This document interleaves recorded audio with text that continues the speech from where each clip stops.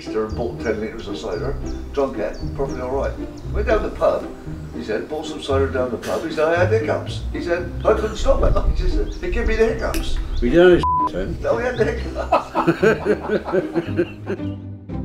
and along comes son-in-law here, and he, he's a bit of a drinker. Well, sorry. he looks like